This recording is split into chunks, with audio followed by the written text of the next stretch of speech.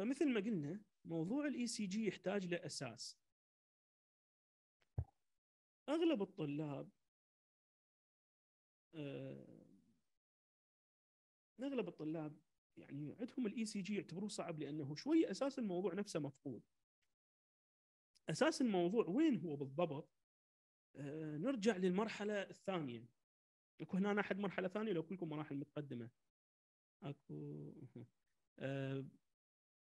يا مراحل أنتم أغلبكم مراحل متقدمة لو مرحلة ثانية أكو أحد مرحلة أولى. ولا واحد يكتب. خامسة أني تمام. مرحلة ثالثة أني ثالثة تمام. خامسة. اي طيب خليني أكمل الحكي. آه, آه محمد أنت ثاني. طيب يا محمد شوف أنت هسه المفروض مسيطر. شلون ال action potential حلو لو صعب. واحد راح يقول لي دكتور يعني إحنا جينا ECG إنه طبتنا على موضوع بعد. ألعن من ال ECG نفسه. أقول لك لا يا حياتي إن شاء الله الموضوع سهل. طبعا أنا ما راح أشرح ال action potential بالتفصيل حتى لا تخافون ولا يعني يصير عندكم tachycardia بس آه، هو الموضوع كله هنا جاي أصلا من موضوع ال action potential طبعا أنا عندي محاضرة باليوتيوب عن ال action potential و cardiac action potential شارحها بالتفصيل. يعني اللي يحب من عندكم يرجع راح أخليه ب group التليجرام آه، يقدر يرجع لها يشوفها بالكامل يفتهم الموضوع. هو هذا الموضوع صراحة من هنا يبدأ. هو ال ECG نفسه. من يقدر يقول لي يا جهاز كهربائي يمثل ال ECG يلا. سؤال. هاي محاضرات تفاعلية. أحب أسألكم. طبعا قلت لكم دزوا ال message everyone حتى اشوفها لا تدزوها خاص لي وحدي لأنه ما راح أشوفها. لأن أنا مشغل بجهاز ثاني. فمن يقدر يقول لي يا جهاز هو يقارب ال ECG يا جهاز كهربائي نستخدمه يعني أكيد مو مو مو الغسالة مثلا. فشنو الجهاز الكهربائي أو الجهاز قياس كهربائي يمثل لك ال ECG يلا ما حد يعرف؟ شنو ما لا حد يرد.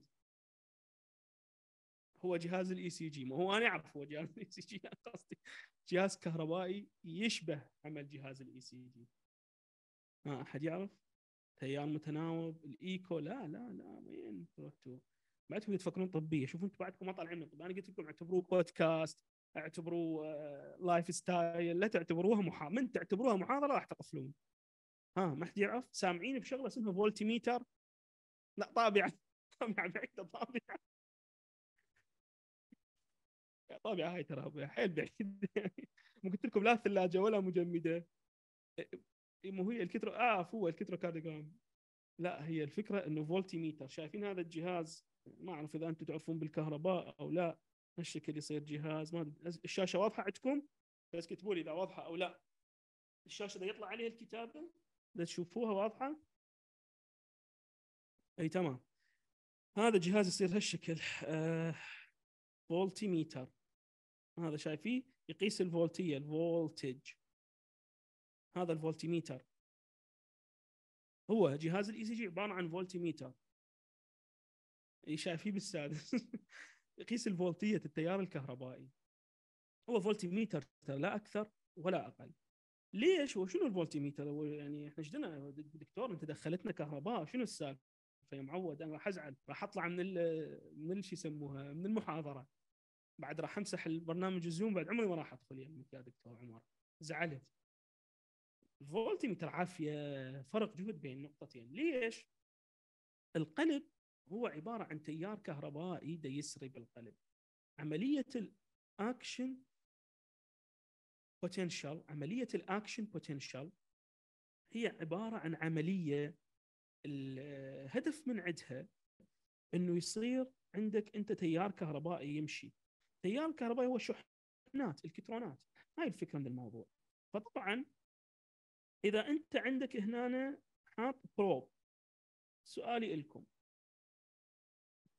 إذا أنت حاط probe اللي هو مسبار موصل لهذا الجهاز. والتيار الكهربائي انتبهوا عليه إذا يمشي باتجاه هذا المسبار أو هذا ال probe اللي هو يعني آه، خلينا نقول الكترولايد طريقة القياس القطب الكهربائي إذا يمشي باتجاهه هنا إيش تتصورون الكهرباء؟ راح تطلع بشكل موجب لو بشكل سالب. ها.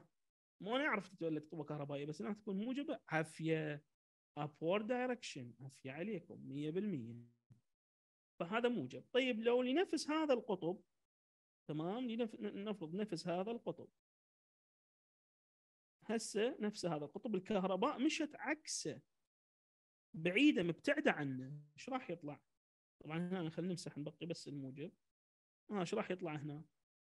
أنا أحبكم تتفاعلون لأن معناته ما نايمين من, من ما تتفاعلون معناته نمتوا سالب down اللي جوده تطلع الكهرباء. هذا آه آه وانتهت السالفة. ترى ال ECG بنهاية الموضوع. ترى هو هذا upward إيش يسموها؟ negative deflection و positive deflection هو هذا الموضوع كله. فهو هذا الفولتية اللي نسجلها للقلب هي اللي تطلع لك بهذا الشكل بال ECG طيب. هاي الفولتية اللي إحنا نقيسها تطلع لنا بال ECG متولدة جاية من خلية القلب نفسها من خلايا القلب نفسها. طبعا عندنا خلايا القلب هي cardiac myocyte خلي بس أمسح. خلايا القلب عندنا طبعا هي عبارة عن إيش؟ هذا اللي نفرض القلب. عندنا myocyte تمام؟ اللي هي يعني خلايا العضلات مال القلب. وعندنا خلايا متخصصة هي ال pacemakers طبعا تعرفوها أنتم هسه راح نجيها ال SA node ال AV node هاي ال pacemaker وخلايا القلب القلب كله كخلايا حاله حال أي خلية آه، حاله حال أي خلية بالجسم خاصة مثل الخلايا العصبية تصير به عملية اسمها اكشن potential اللي هو شو عبارة؟ عبارة عن توليد كهرباء داخل الخلية مختصر مفيد. ترى هو القلب عبارة عن جهاز كهربائي وعضلاته كلها بشكل عام والأعصاب عبارة عن أجهزة كهربائية بالمعنى ممكن يكون بمعنى حقيقي يعني حرفيا عبارة عن أجهزة كهربائية بطريقة معينة. ف action potential لما يتولد آه هذا ال action potential هو عبارة عن كهرباء. طبعا إذا تتذكرون بالسادس الإعدادي رجعتكم. شوفوا واحد يقول لي دكتور هاي يابا رجعتني للسادس الإعدادي. أو أنا ناقص يا دكتور رجعني للسادس الإعدادي. طبعا راح أزعل راح لا تزعل أصبر لي شوية. من من عندكم يتذكر المتسعة؟ المتسعة أحد يتذكر من عندكم شغلة اسمها متسعة؟ لو ما حد يتذكرها لو نسيتوها. المكثف الكهربائي. تمام. فأنت لما تخلي لوح يعني من المعدن لوحين متقابلين واحد من عندهم راح يتولد به شحنه موجبة والثاني راح يتولد به شحنه سالبة. هسه هذا مو تيار كهربائي. شو وقت يصير تيار كهربائي؟ ها آه. حد يقدر يقول لي؟ هسه إحنا عندنا مكثف اللي هو متسعة. من نربط بالبطارية؟ ما أدري إحنا ربطنا بالبطارية شحناه. من تتحرك الشحنات؟ عافية. طيبة. أنت من تربطة بالبطاريه يعني خربت الشرع كله.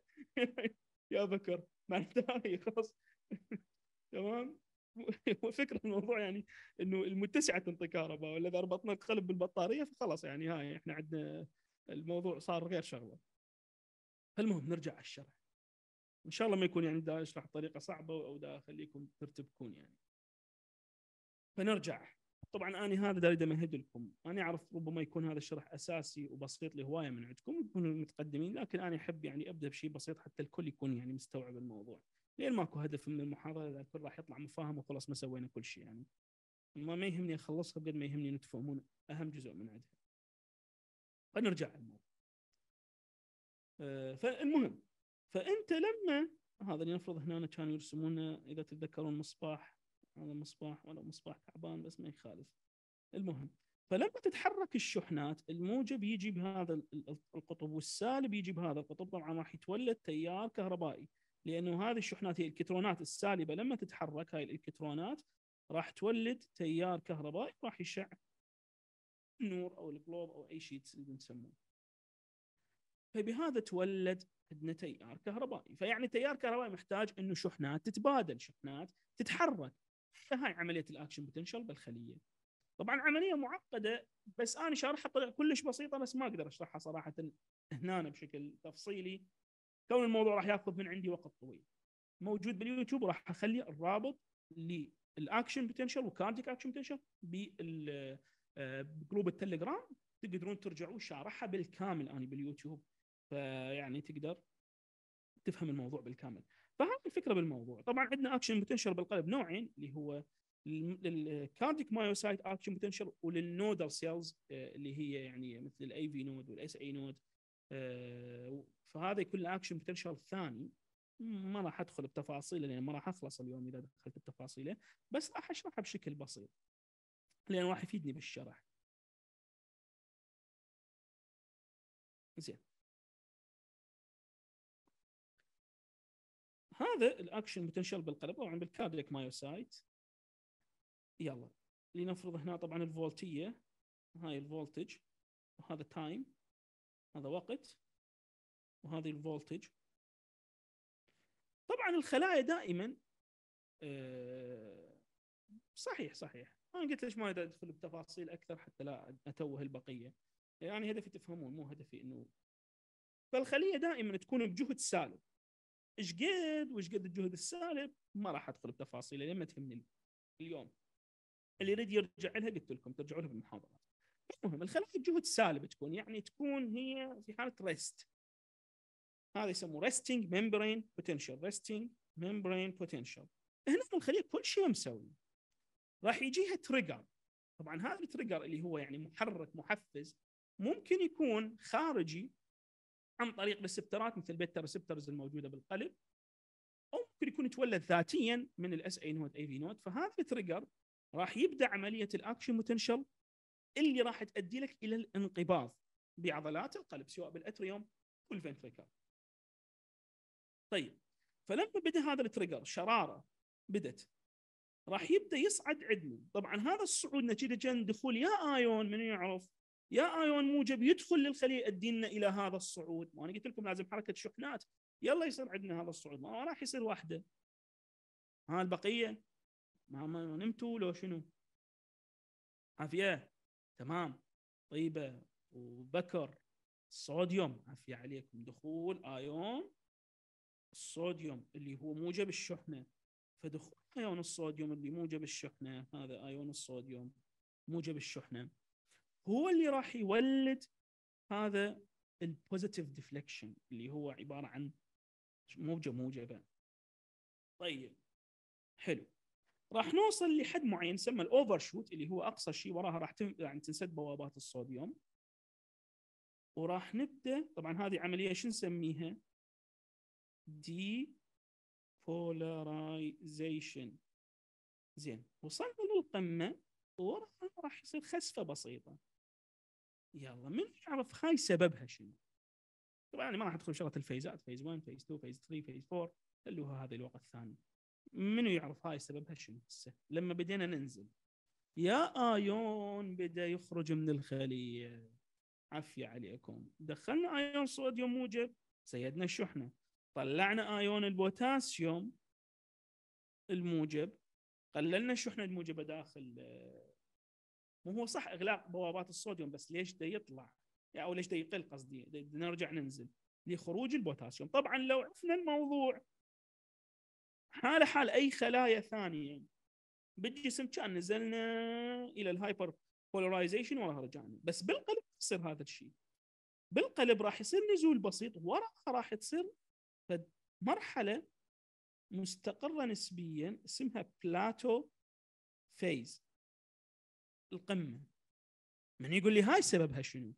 يا آيون موجب دا يدخل ودا يخلي ال action potential يطول شوية.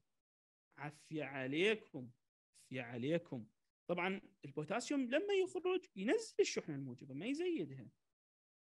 تمام؟ فهنا دا يدخل آيون. الكالسيوم موجب الشحنة وبالتالي دا يثبت لي الشحنة دا يحاول يسوي موازنة في مرحلة معينة. وبعدين طبعا وراها تبدأ عملية ال repolarization وراها نفسها hyperpolarization وبعدين يرجع مرة ثانية ال resting potential طبعا من خلال صوديوم بوتاسيوم هم واللي هي ATP dependent يعني ما راح أدخل بتفاصيلها فهي الفكرة بالموضوع. depolarization repolarization و plateau phase هذا اللي يصير حرفيا بالقلب فلما شنو تمثل ال P wave بالقلب؟ سهلة راح تقول لي دكتور ال P wave جايتني من ال SA node اللي هي بال atrium. تمثل لي شنو؟ تمثل لي depolarization of atrial myocytes تمام؟ QRS شو يمثل لك؟ اللي هو طبعا مبينة واضحة. اللي هو نفس action potential ده يصير بال ventricle depolarization of ventricular myocyte اللي هو يعني بالبطينات هذا الموضوع ليش مهم على مود هذه؟ طبعا ال repolarization عكس ال depolarization وبالتالي هذا راح يصير T wave بعدين نفتهمه فنجي هنا على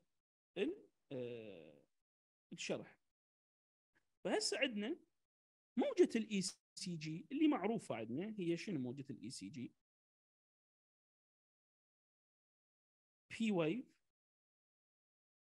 تمام؟ اللي قلنا P wave منين تجينا؟ خلي بس نجي نشرح لكم على طريق الكهرباء بالقلب. الكهرباء بالقلب تبدأ من وين؟ طبعا أنا حتى أحفظ أو أحفظ الطلاب هذه أفهمهم انه المساله وما بيها إنه عندك أنت القلب عبارة عن بلد. وال SA node هي ما أعرف تسموه رئيس الوزراء رئيس جمهورية حسب نظامك أنت طبعا حاكم. ما راح ندخل بشغلات سياسية ما بينا حيل. طبعا تمام؟ فالمهم فال SA node طبعا بس الصوت يوصل للكل الكل سامعني. لو أحد ضاع لا لا احد يخاف ترى ما حدخل شغلات سياسية عميقة يعني لا احد يطلع يخاف يصير له شيء. تمام. فال SA node هذه راح نعتبرها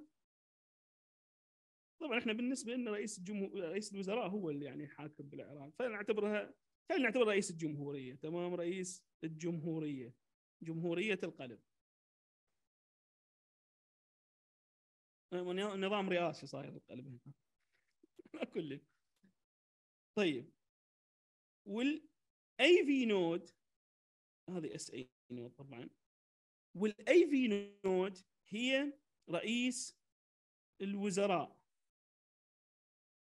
وال bundles of His اللي هي بعدها طبعا تنقسم إلى left bundle و right bundles هذولا هم الجيش أو الحرس الجمهوري الجيش. وطبعا الشعب صاير Purkinje fiber. تمام؟ كل من له دوره يعني ما استهين أنا بال Purkinje fiber. هذول هم الشعب. تمام؟ فهو القلب بشكل عام المفروض القرار يبدأ من وين؟ من رئيس الجمهورية ال SA node. يبدأ بالانقباض. بعدين من يستلم القرار بعده؟ يعني يبدأ بالكهرباء. قصدي ال AV node اللي هو رئيس الوزراء. طيب وبعدين من يستلم القرار بعدهم؟ الجيش أو التنفيذية السلطة التنفيذية. وبعدين بالاخير يوصل القرار للشعب ويتوزع على الخلايا زين سؤالي لكم. لو لو رئيس الجمهورية مات لسبب من الأسباب منو راح يتولى قيادة القلب؟ آه، قصدي قيادة الدولة. ها. زين يعني هو منو يعني رئيس الوزراء؟ تمام. طيب. لو رئيس الوزراء مات منو راح يتولى قيادة الدولة؟ اثنيناتهم ماتوا يعني. أكيد مو الشعب يعني. أول مرة قبلها. البندلز. وبعدين إذا البندلز هم ماتت ذاك الوقت الشعب يوصل. طبعا شو قصدي من هذا الكلام؟ هذه الخلايا لها automaticity اللي هي القدرة على توليد الكهرباء ذاتيا. عندها قدرة على توليد الكهرباء ذاتيا. فال SA node هي تولد الكهرباء.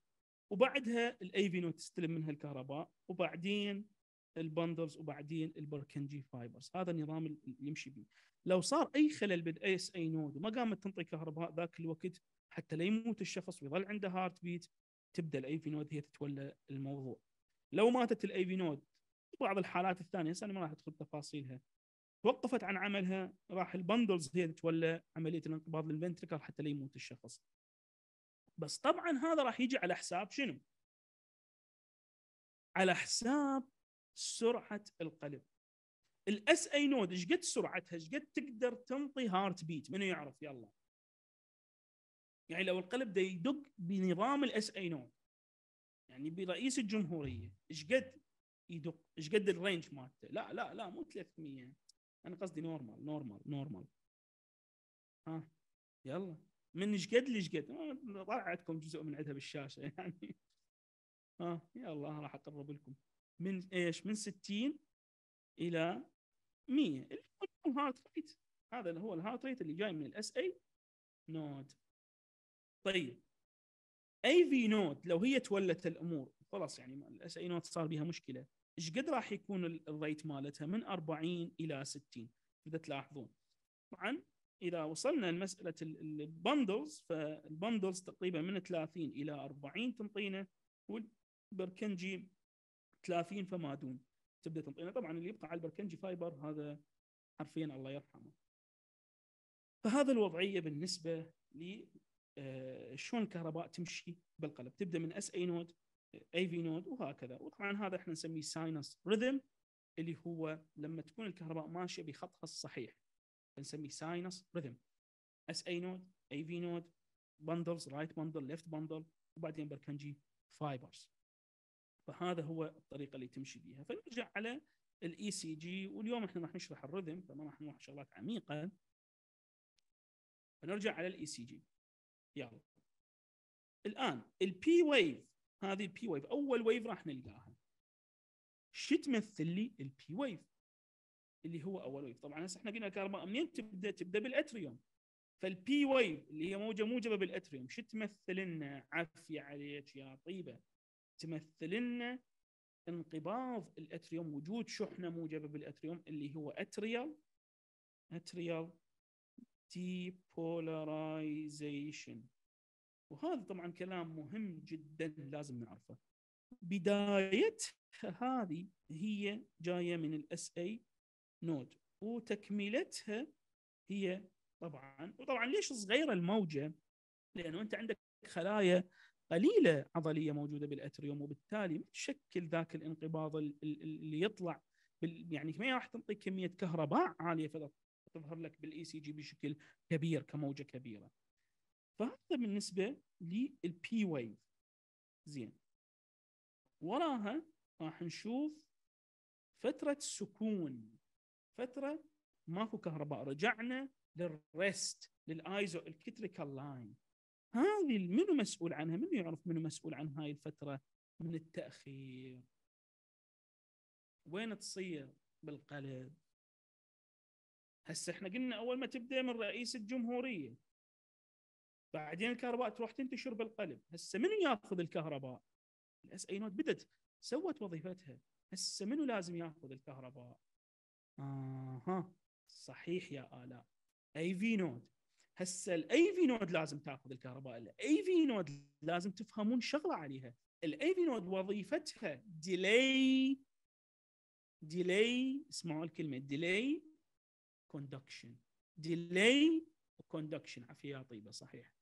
delay و conduction يعني وظيفتها تأخير وتوصيل. وظيفتها تأخير طبعا في حالة إذا ما اشتغلت اي هي تقوم تسوي automaticity وتبدأ تنطي كهرباء بس قصدي بشكل طبيعي وظيفتها تأخير الشحنة وتوصيلها. ليش هذا الشيء يصير؟ لأنه هل أنت من مصلحتك ال atrium وال ventricle ينقبضون نفس الوقت مو الدم وين راح يروح؟ انت قبضته من من ال atrium والان قبضت ال ventricle طيب الدم شلون راح يمشي يعني؟ غير المفروض ينزل من ال atrium لل ventricle بعدين من ال ventricle يروح للاورتا أو لل pulmonary artery فانت ما تريد ينقبضون نفس الوقت. لازم يصير عندك عملية تأخير.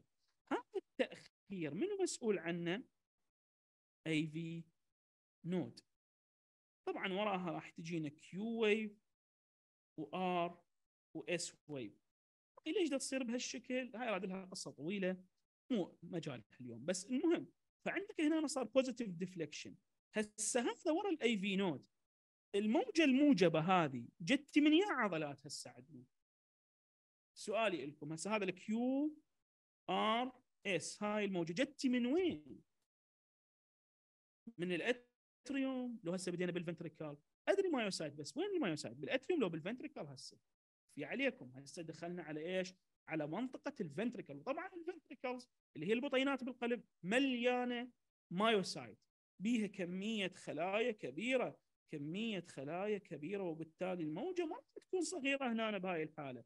راح تكون واضحة كبيرة مقارنة بال P wave الصغيره فهنا صار عندنا QRS فهسه هذا ال QRS يمثل لنا depolarization of منو؟ ventricle تمام؟ ventricle وبداية ال depolarization هذا منو بدأ؟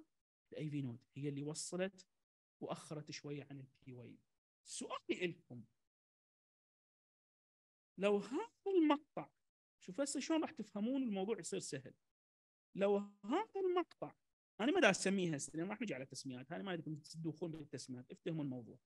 لو هذا المقطع زاد أو خليني ارسم لون لون ثاني الاصفر شوي ما يبين.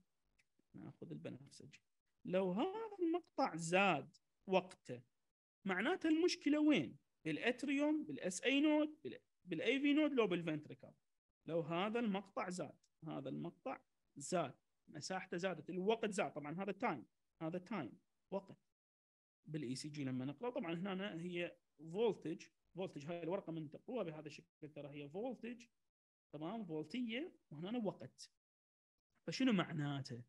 آها problem with AV node عفية عليكم. أنا اريد هذا تفتهموه هسه بالبداية. ما تعرفون شنو الأسماء الأمراض شنو معنى block شنو ما إيه. وين المشكلة؟ مشكلة بال AV node هذا يسموه troubleshooting تريد تلقى المشكلة وين؟ فأنت لزمت رأس الخيط. مشكلة بال AV node معناها تسوي delay أكثر من اللازم. يعني معناها بيها block شفتوا قد الموضوع سهل؟ طيب. يلا راح أجيكم على الشيء الأصعب. لو هذا المقطع صار أصغر من اللازم. هسه من يعرف المشكلة وين؟ ترى هذا ما أتوقع منكم تجاوبوا لأنه شيء صعب بس بيكم يعرفه فيعني عافيه عليه. لو هذا المقطع صغر. لا هيك يا طيبة أنت جبتيها من الأخير عافيه عليك. معناته أكو فد شيء معناته اكو شنو؟ معناته اكو توصيلة كهربائية جاية من ال atrium إلى ال ventricle دون المرور بال AV node. معناته الكهرباء ده تجي مباشرة من الإيش؟ من ال atrium إلى ال ventricle دون المرور بال AV node. ماكو تأخير بالموضوع. فهذا معناته شنو؟ معناها عندنا شغلة بعدين تعرفوها متقدمة اسمها Wolff Parkinson White syndrome فشفتوا الشغلة شلون بسيطة؟ حتى من تسمعها تخاف وعبالك فد شيء صعب لكن بالحقيقة ترى كهرباء لا أكثر ولا أقل. الكل ما ضاع من عندي أحد عنده استفسار قبل ما أكمل لهنا الأمور واضحة. واضحة للكل. ما حد يعني الكل فاهم الموضوع فحتى إذا هذه حتى أكمل الشرح. أنتم كتبوا لي بالتعليقات حتى البقية أشوف حتى آه، إذا عندكم سؤال شيء كتبوه عادي أنا أشوف قدام إذا أشوف الشات حتى إذا أي شيء موجود قلت لكم اختاروا ايفري ون الشات حتى آه، يوصلني. فتمام أتصور واضحة. كمل دكتور كلش واضح. تمام. طيب سؤالي لكم. لو الآن لو الآن لقينا صارت مشكلة لقينا تشوه deformity بال P wave المشكلة الآن بال atrium بال ventricle لو بال AV node. يلا جاوبوني. عفي عليكم atrium 100% فهسه وضحت عندنا بداية. ال P wave تمثل لنا ال SA node. بقية ال P wave تمثل لنا ال atrium فمعناته لما أكو مشكلة أو deformity تشوه بال P wave إذا مشكله بال atrium. فكر مسألة atrium عندك. فيها مشكلة. نجي نفس الكلام نقوله. لو ال QRS الآن صار بي مشكلة صار widened أو صارت بي deformity هسه المشكلة وين؟ بال atrium بال ventricle لو بال AV node عفي عليكم بال ventricle ترى هو هذا ال ECG ملخصة؟ يعني بشكل مجمل. هو هذا. اذا المشكلة بال ventricle طيب. قاعدة بالحياة. القوي يأكل السمين يأكل الضعيف يأكل الخفيف. شنو آه شو ما حد يكتب. القوي يأكل. طبعا أحكي لكم شغلة شوية تضحككم حتى. تمام؟ مرة. ف... أقول مثل. فقلت الأمثال تضرب ولا تقاس. تخيل يعني في كنت أدرس طلاب طبعا. يعني ما أعرف إذا كنت تعرفون متابعيني من قبل أو لا كنت أقدم محاضرات طبية آه، أونلاين وكنت أيضا بقاعة. فدا أدرس طلاب قدامي تقريبا 40 50 طالب. فقلت الأمثال أنا طبعا أعطي أمثال مرات يعني حتى تضحك مثلا على الأكل على الحياة حتى شنو الطالب شوية لأنه من نفس الشرح شرح شرح شرح يفصل. أنا أعرف يعني الطلاب يعني أنا طالب بالنهاية كنت وأعرف الوضعية. فإذا ظل شرح شرح الطالب يفصل اوتوماتيك يعني مباشرة. يشتغل عند الفولتيميتر غلط و... تمام؟ فقلت الأمثال تضرب ولا تقاس. فتخيل طالب سالني قال لي شلون تنضرب دكتور؟ أو حرفيا يعني إنه شلون تنضرب هو تخيل يعني جايب المثل بده يضربه يعني تمام؟ فنفس الشيء. فالمهم فالمثل يقول القوي طبعا اللي هسه مفتهم عوفوا الفكرة هذه. فالقوي يأكل الضعيف والأمثال تضرب ولا تقاس ما تنضرب حرفيا يعني تضرب مجازيا يعني. تمام؟ فالمهم فنرجع. فهسه نفهم إنه ال QRS يمثل لنا ال ventricle تمام؟ ventricle وال P wave تمثل لنا ال atrium وهذا يمثل لنا. طيب أنا ليش جبت لكم هذا المثل مال القوي ياكل الضعيف؟ لأنه الموجة الموجبة الكبيرة تأكل الموجات الصغيرة القريبة من عندها وهذا بعدين راح تشوفوه في ال ECG لما أكو موجات تتعدى على موجات وتختفي بالنص هاي الموجات. هذا مبدأ مهم بال ECG إنه القوي يأكل الضعيف. الموجة الكبيرة تضيع بها الموجة الصغيرة. منو يعرف مثال على هذا الشيء؟ يلا أنتم قرأتوا مرحلة ثانية. منو يعرف ينطيني مثال على هذا الشيء؟ أنا بعدي ما اشرحه صراحة يعني للأمانة يعني. بس منو يعرف قبل ما أقوله؟ المفروض تستنتجوا لأن أنا هسه وصلت للموجة اللي بعدها يعني. عافية. لا مو هو مو كل ال repolarization wave تختفي بس وحدة. لا لا لا لا لا. طيب وين؟ هسه راح نجي على الموجات البقية. احد عرفها؟ atrial depolarization يختفي. حياتي هذا arrhythmia يا يا عبد ال... آه دكتور لا هذا arrhythmia هذا معناته لما يختفي ال P wave لا وانت قربت. أنت صراحة كلش قربت. عافية. عافية طيبة. ال atrial repolarization هو هذا اللي يختفي. اللي هو منو راح نجي على الموجة اللي بعدها؟ موجة ال T wave T wave هاي الموجة. هاي شو تمثل؟ ان هسه خلصنا ال depolarization بعد ما خلصنا ال depolarization وطبعا هسه واحد عندكم أنا أعرف راح يسألني.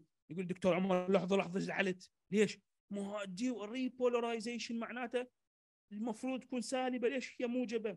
لأن الفكرة موجات هنا مو معناته سالبة بمعنى هي سالبة أو موجبة. معناته اتجاه سير التيار الكهربائي. فال repolarization هو عكس ال depolarization فايضا ك lead ات تلتقطه ككهرباء موجبة. ما له علاقة هنا بالشحنات يعني إنه هي كانت سالبة أو موجبة. ما ندخل بتفاصيل. فالمهم فهي راح تطلع شحنة أيضا آه، بتطلع ب positive deflection فهاي ال T wave هي repolarization بس منو repolarization؟ repolarization كبير ضخم لمنو؟ ل ventricle ventricular repolarization اللي قلنا تطلع الايش؟ حتى ترجع لل rest حتى ترجع للراحة لأن القلب لازم يكمل دورة كاملة هي cardiac cycle ويرجع مرة ثانية للصفر حتى يبدأ دورة جديدة. فهاي ventricular repolarization ال T wave. زين لعد شنو الموجة اللي أنا قلتها رايحة بالرجلين؟ اللي هي قوية أكل ضعيف، عندنا موجة اسمها U wave ال U wave اللي هي atrial مو هو atrium هم هنا حالة حال ال ventricle صار بي de repolarize آسف depolarization الآن يحتاج يرتاح repolarization atrial repolarization بس ضاعت بال T wave فهذا مثال. طبعا أكو أمثلة ثانية بعدين بالمقابل راح تعرفوها لما تسمع بال ventricle بال RS الضخم اللي موجود. بال يعني ال ventricular fibrillation وغيره فما تلقاها مع إن هي موجودة حرفيا بس ما تلقاها يعني ضاعت بالنص. وهذه شغلة ما أدخل بيها الآن بس حتى أنت تكون خلينا نقول فاهم الموضوع واصل الفكرة لك فال U wave طارت هاي ال U wave إيش وقت تطلع؟ وخلوها لكم معلومة. لما أنت إذا تسمعوني الكل ما يطلع لي عندي مشكلة بال connection الكل ده يسمعني؟ الصورة واضحة عندكم؟ بس كتبوا لي لأن ما أعرف. كتب لي عندك مشكلة بال connection تمام. تمام تمام. فهاي ال U wave شو وقت تطلع عندك لما أنت تخلي طبعا إحنا قلنا ال repolarization يعتمد على يا ايون مو depolarization مو بداية الاستقطاب النهاية هاي تعتمد على خروج يا ايون عافية البوتاسيوم.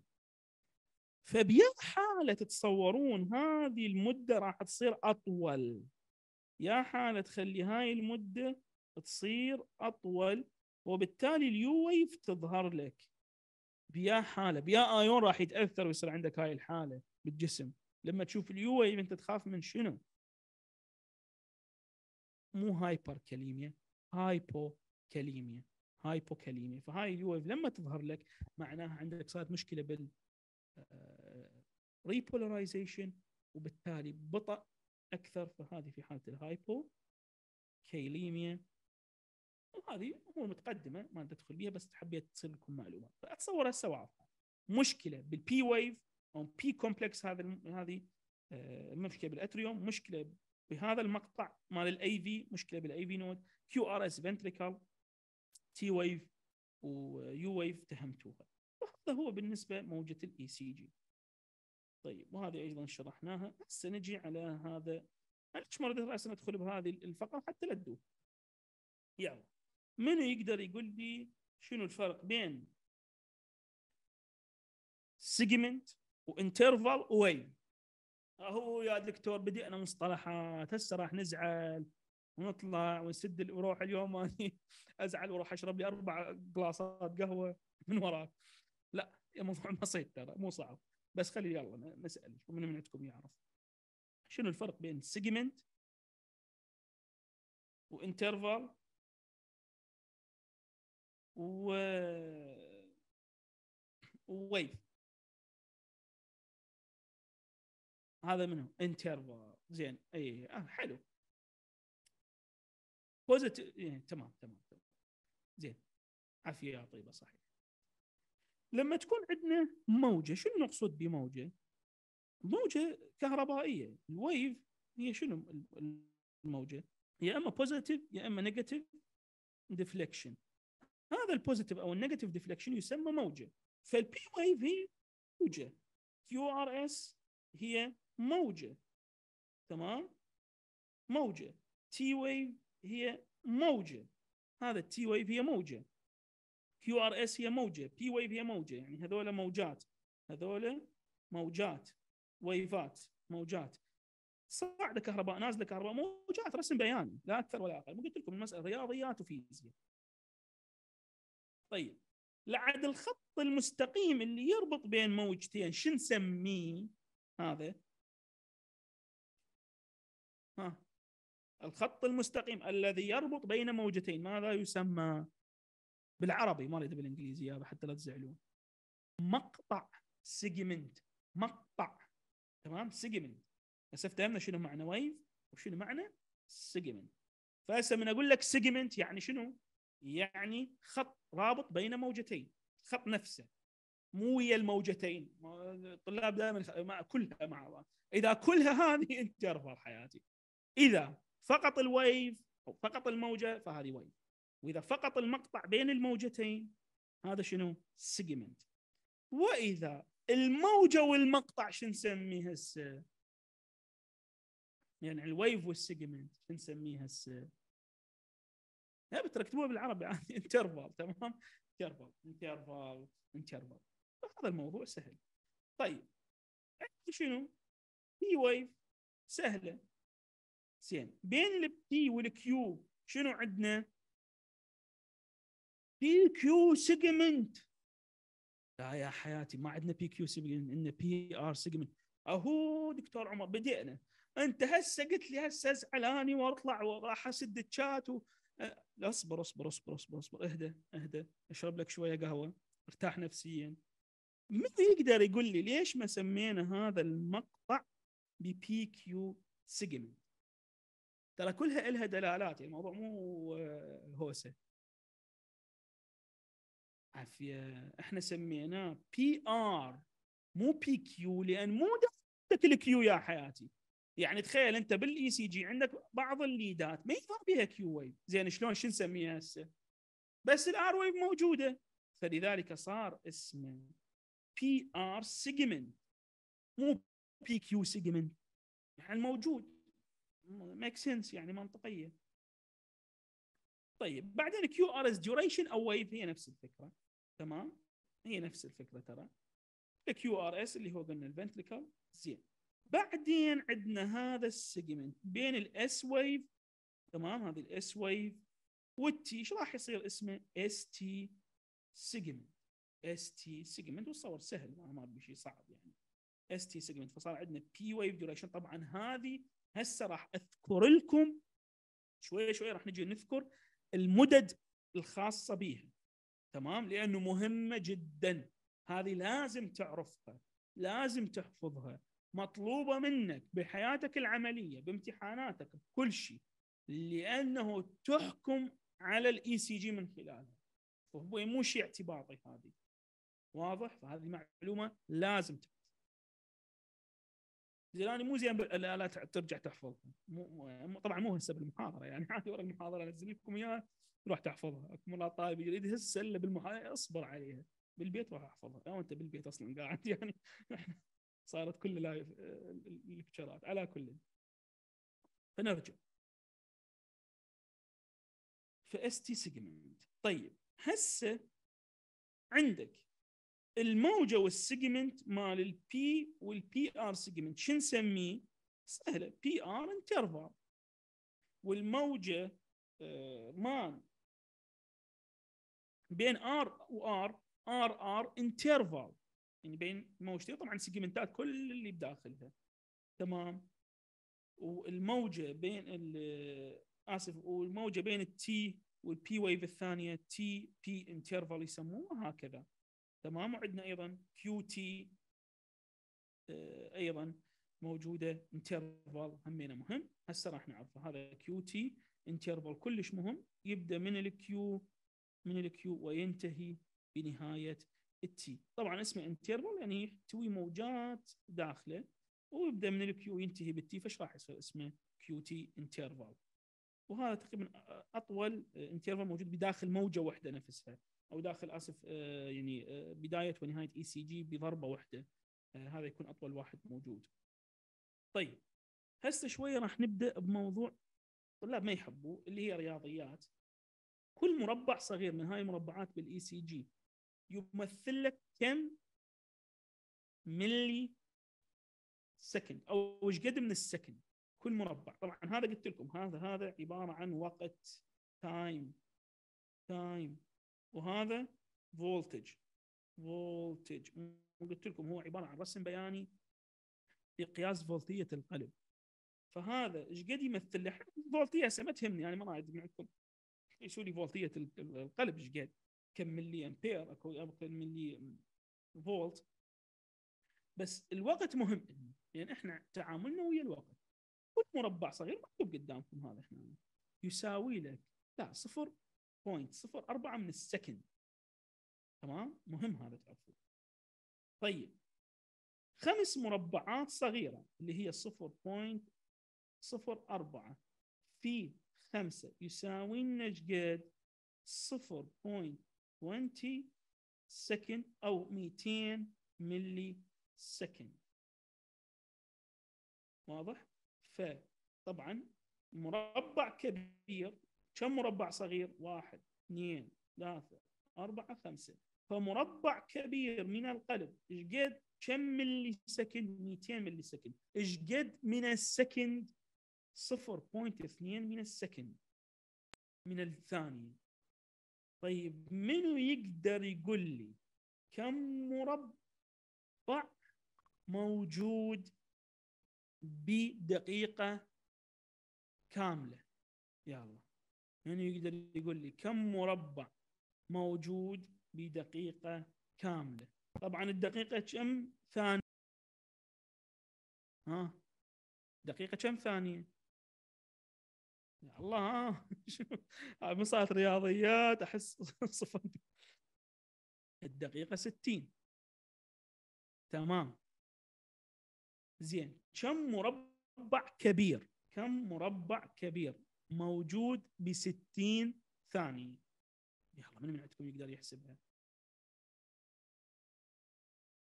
ها. كم مربع كبير موجود ب 60 مم. وليش دا أسألكم هذا السؤال؟ لأنه هسه راح تفتهمون ليش. ها يلا فكروا بيها. زين. خمسة في ستين. خمسة في ستين. عافية. عافية يا ريلمي. ما أعرف اسم من ما مكتوب. عافية 300 300 مربع. 300 300 تمام؟ 300 مربع. هذا خلال دقيقة. خلال 1 مينت اللي هي 60 ثانية. 300 مربع كبير. ليش هذا دا أسأله؟ هل أريد أتعبك نفسيا؟ ما يهمني هسه فهمت شلون ضربته أو لا. تعرف الفكرة؟ هذا راح يفيدنا في قياس ال rate. هسه راح نجي نفهم الموضوع شوية أكثر متقدم. بس افتهمنا شنو معنى segment شنو معنى interval تمام؟ وال waveات افتهمناها طيب هذا بعدين نرجع له يعني. هنا طيب هذا هسه عندنا الموضوع المهم. rhythm analysis أنت من تجيك ورقة ECG طبعا أنا هسه مدى أتكلم على ال leadات بشكل عام أتكلم على lead واحد من عندهم. لما أنت تبدا تشوف lead واحد من عندهم شو تشوف بهذا ال lead لأنه مسألة هسه تعدد ال leadات هذه شغلة ثانية بعدين راح ندخل لها أكثر متعمقة. فأنت لما تريد هسه تبدأ تسوي rhythm analysis أنت أول ما تشوف ال ECG إيش لازم أول شيء تفكر به إيش لازم أول شيء تسوي؟ لازم أول شيء لما تشوفه شو تسوي؟ أول شغلة أهم شغلة. ها القلب سريع لو بطيء. شلون تعرف سريع ولا بطيء شو تقيس. تقيس؟ يلا ها كيف فقدتكم أو أنتم نمتوا؟ لا أنت هسه جاوبتيني على اللي بسال ال rate عافيه نقيس ال heart rate تمام؟ ال heart rate نقيس ال heart rate لأن هذا أول دلالة راح ينطينا إذا أكو مشكلة بالقلب. فأول شيء نقيس ال heart rate زين ثاني خطوة راح نشوف القلب هل ينقبض بشكل منتظم؟ لو غير منتظم. فثاني خطوة مهمة. أول شيء لما نريد إحنا نشوف ال ECG شو نشوف؟ أو شو نقيس؟ نقيس ال heart rate ضغط ال ECG ثاني شغلة شو نسوي؟ نقيس ال regularity اللي هو شنو؟ انتظام القلب. هل القلب منتظم أم غير منتظم؟ ضرباته وهذا مهم جدا. حتى نقدر نميز هل هذا ال ECG قدامنا طبيعي أو لا. أصعب شيء على طالب الطب إنه يقول هذا normal ECG مو العكس. هاي المفارقه أكثر الوقت طالب الطب يدوخ بال normal ECG أكثر مما يدوخ بال pathological ليش؟ لأنه هو ما يعرف الموضوع وين ماشي. ماكو أساس بالسالفة فدا يريد إلا عادي أنت شوف الوضعية. أول شيء شوف ال rate أول نقطة شوف ال rate ثاني شيء شوف ال regularity اللي هو منتظم أم غير منتظم. هسه أنا ما أقول لك شخص بس أقول لك افتهم اعرف. زين؟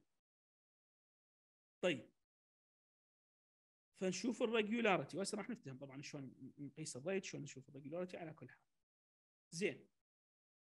بعدها إيش راح نشيك أول نقطة؟ بداية ال ECG اللي هي منو؟ P wave فنجي نباوع ال P wave ثالث أو رابع شغلة راح نشيك ال PR نشوف ال PR interval وراها ال QRS duration وراها ال QT interval هذا دا أتكلم على الفحص بالنسبة لل lead واحد. lead آه، طبعا مو lead واحد قصدي يعني لجزء من ال ECG lead واحد من ال ECG اللي هو على أكثر يكون lead 2 اللي يعطيك اياه واحد منفصل بالأخير آه، بهذا الشكل. تمام؟ فأول ما نشوف ال ECG إحنا نريد نشيك ال leadات بشكل عام ما نريد إحنا نشوف مشكلة MI ما MI لا لا لا بشكل عام نريد نشوف ال rhythm وهذا يفيدك وين؟ بال arrhythmia بخلل نظم القلب. أول شيء نشيك ال rate بشكل عام ودائما ال ECG راح تسوي هذا الشيء راح تشوف ال rate تشوف ال regularity تشوف ال P wave تشوف ال PR interval تشوف ال QRS وتشوف ال QT interval وطبعا لو كان عندنا leadات هوايه راح نشوف ال T wave ونشوف مشاكل ال T wave اللي كلكم سامعين بمشاكلها أو عندكم فد خلفية بسيطة عليها مشاكل ال myocardial infarction وغيرها. اللي هي يعني ما راح أدخلها هذا اليوم. إحنا ما عندنا مشكلة بهاي السالفة أو ما راح نطالب لها لأنها شغلة متقدمة. فالمهم فهسه واضح نشيك ال rate ال regularity ال P wave حتى نعرف هذا قدام ال normal أو لا. طيب. عندنا عدة طرق لقياس ال heart rate عدة طرق لقياس ال heart rate. تقريبا ثلاثة أو أربع طرق موجودة لقياس ال heart rate. أنا ما تهمني. صراحة عندي طريقة أو هي مختارها مو أنا يعني مسويها موجودة. طريقة ال 300 الدقيقة بيها 300 مربع كبير large box تمام؟ مربع كبير. فايش راح نسوي حتى نعرف ال heart rate؟ طبعا انتبهوا. راح نقيس المسافة أو نقيس عدد المربعات بين R ين بين R ين بين R و R اللي هو ال RR إيش؟ interval راح نجي نشوف. إحنا طبعا شنو هدفنا؟ حتى نعرف القلب إيش قد يدق. فطبعا ال ventricle كم مرة دق؟ ال R R wave طبعا هذه الطريقة هي عملية ومو دائما عملية. بعض المشاكل اللي تحتاج من عندنا مرات نقيس المسافة بين البي والبي والار والار حتى نقارنهم مع بعض نشوف هم نفس ال rate لو لا. هذه لما تصير عندنا مشاكل وين؟ بال AV node مرات نحتاج هذا العمل إنه نشوف المسافة بين ال P وال P هل هي أو يعني ال rate بين ال P وال P هل هو نفسه بين ال R وال R أو لا؟ بس بشكل عام أنت لما يجيك ECG ما أريد ندخل بهذا التفاصيل. أنت عموما تمام إن شاء الله احاول أحاول انزلها على اليوتيوب إن شاء الله. فنرجع الفكرة فأنت عموما آه القياس راح يكون بين ال R وال R بين ال R وال R حتى نعرف. فإحنا نعرف إنه في دقيقة كاملة في 1 minute أكو 300 box طب بين ال R وال R كم box راح نجي نحسب. مثال هنا واحد اثنين ثلاثة أربعة. أربع boxات بين ال R وال R فراح يصير ال rate ال rate 300 تقسيم RR interval large squares أو large boxes اللي هو في هاي الحالة كمثال 300 تقسيم 4 يطلع لنا يعني 75 وهكذا. فسهل. 300 تقسيم 65 فهذا هات طيب زين من يقدر يقول لي شنو مشكلة هاي الطريقة. يلا منو من الشطار يقدر يقول لي شنو مشكلة هاي الطريقة؟ ليش ما نقدر نعتمدها كل الوقت؟ أو بيا حال نقدر نعتمد هاي الطريقة؟ السهله يعني. ها. عافية عافية يا طيبة عافية يا طيبة. ها؟ الطريقة تعتمد على فكرة إنه أنت لما تقيس ال RR هي نفسها ال RR كل وقت. هي نفسها لا نص مربع نقدر نحسبها يعني مو فد شيء إحنا نعطي estimation إحنا ما نعطي يعني ال heart rate 100% ترى يعني تكون منصف نعطي estimation بشكل سريع تعرف هل المريض عنده tachycardia طبعا أو عنده bradycardia إذا أقل من 60 إذا أكثر من 100 هذا اللي تعرفه. بس مشكلة هذه شنو؟ هاي الطريقة تعتمد إنه عندك الموضوع regular يعني ال R wave هي نفسها ال R wave بعدين هي نفسها المسافة ال R wave اللي بعدها. وهكذا. ماكو أي فرق بين المسافة هذه بين ال R wave ات هذه صحيحة. لما يكون عندك نظام القلب regular طيب إذا كان irregular مرة R هنا طالعة بعدين R هنا بعدين R هنا بعدين R هنا. هل هذه طريقة عملية؟ أنت تقيس لي من هنا وتقسم لي طب أنت شلون يعني أنت افترضت إنه كله نفس المسافة بينما الحقيقة مو نفس المسافة. فما راح تنطي لك نتيجة صحيحة. ها؟ تفيدك في حاله إذا كان ال heart rate شنو؟ regular إذا كان regular rhythm زين إذا كان irregular rhythm إذا كان غير منتظم شو نسوي يا دكتور؟ ما راح نقيس بعد هاي يا دكتور. خلاص ما راح اعمل ECG وما راح أقيسه وانتهت السالفة. وأنا زعلت وراح أسد لا لا أصبر أصبر أصبر أصبر. اهدى. إذا كانت الموضوع irregular أو حسيت إنه اختلال أكو بنظم القلب مو طبيعية المسافة بين ال R ات مو متساوية عندنا طريقة اسمها R wave method هذه طبعا اسمها شنو؟ large square methods هذه اسمها R wave method اللي هي شنو؟ تأخذ واحد من ال lead ات الكاملة طبعا شنو ال lead ات الكاملة؟ هاي ورقه ال ECG إذا تلاحظون lead 1 مكتوب lead aVF المهم lead ات تكون صغيرة بس بالأخير حاط لك lead 2 كامل ليش حاط لك إياه كامل؟ هل حاط لك إياه عبطا كامل؟ لا حتى يساعدك في إنه تقرأ ال rate ال heart rate شلون؟ هذا ال lead اللي يخلي لك إياه كامل بال ECG هو مسجل 10 second 10 second تمام؟ مسجل 10 second فأنت خلال هذا ال lead تجي تقرأ تمام ال lead اللي هو راح تلقاه بالورقة كامل مو ال lead ات الصغيرة الناقصة لا ال lead الكامل راح تجي على هذا ال lead الكامل تشوف كم R عندك. طيب. الدقيقة كم ثانية قلنا؟ يلا الدقيقة كم كم ثانية؟ سؤال بسيط مسائل علم ذرة. يلا الدقيقة كم ثانية؟ 50 60 40 90 60 تمام؟ الدقيقة 60 ثانية. الدقيقة 60 ثانية. 60 سكند 60 ثانية. ف60 تقسيم 10 إيش قد؟ 6 واضح؟ فراح نضرب عدد الآر ويفات في 6 وراح يساوي لنا كمية ال R wave ات خلال 1 minute اللي هو ال heart rate إذا كان هاي الحالة irregular irregular إذا كان طبعا حتى بال regular تقدر تستخدمها. اكو بعض الناس فقط يستخدمون هاي الطريقة ما يستخدمون الطريقة الأولى لأن يقول لك خليه يخلص من وجع الرأس وعلى شنو أنا دا أقسمها؟ يعني يبقى لك مرات آه، مثلا منطيك ال ECG ناقص خاصة بالمستشفيات عندنا للأسف. مرات الطباعة مو واضحة فال lead ال two طاير بالنص أصلا. تعتمد على طريقة 300 ما عنده غير حل تمام؟ ومرات تصلك وش يطلع لك كلها تطلع wave ات غلط. طالع هنا أصلا نفس إيدك تعرف تقرأ ال ECG بس إحنا نحكي حاله مثالية يعني. هي المفروض تصير. مو اللي يصير بها أغلاط.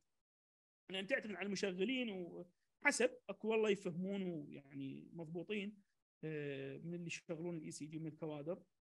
يعطوك إياها مضبوط وأكو لا للأسف يعني يكون معدة مستجدة وخطية ما يعرف يربط صح فيصير بها خلل.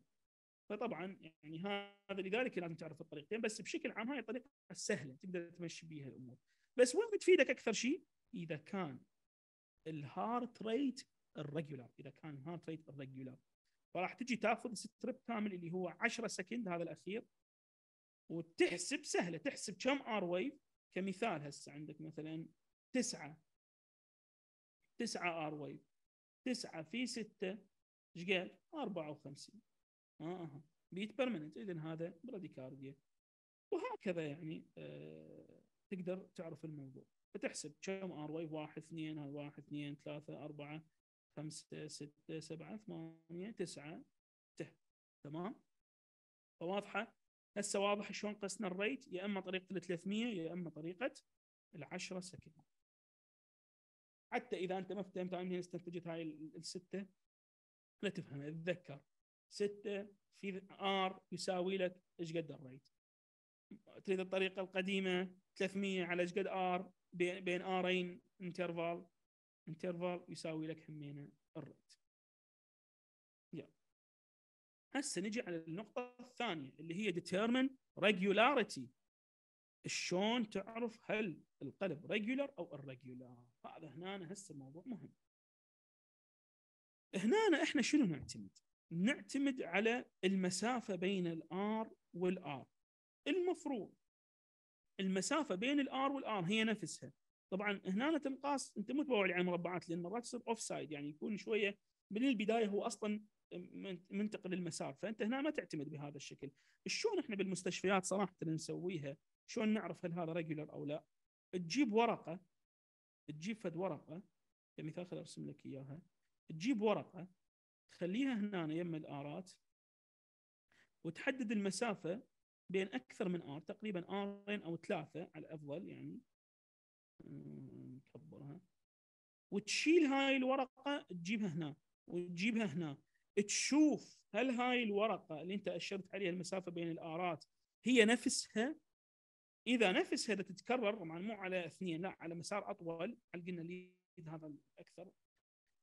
إذا هي نفسها إذا تتكرر وبشكل منتظم فاذا هذا regular طيب إذا خليتها ولقيت لا والله هنا لقيناها أقصر هنا أطول هنا أقصر اذا هذا شنو معناته؟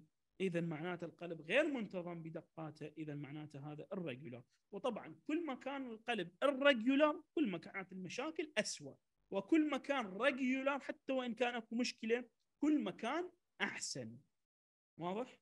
فهذه مهمة لازم نفهمها إذا كانت الشغلة irregular فهذه اسوء وإذا كانت regular فهذه أحسن. طيب.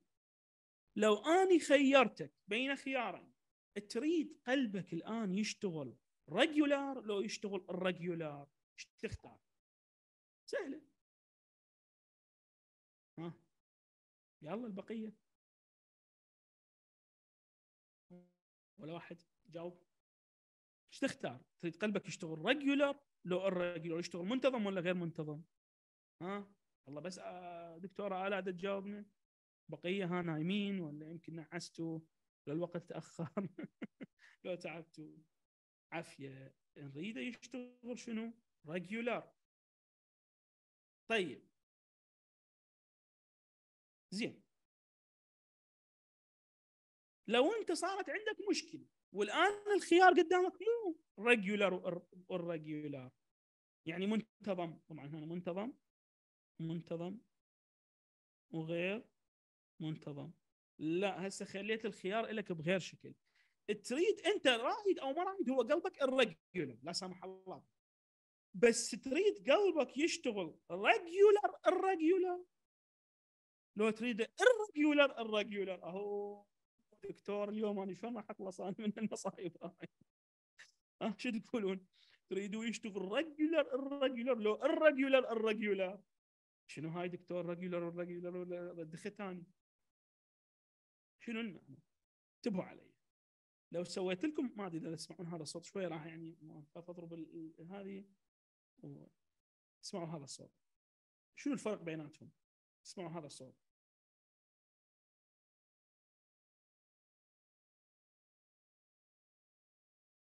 واسمعوا هذا الصوت. شنو الفرق بين الأول والثاني؟ بين الصوتين اللي سويتكم. ما أدري إذا سمعتوها أصلا أو لا. شنو الفرق بين الصوتين اللي سويتهم؟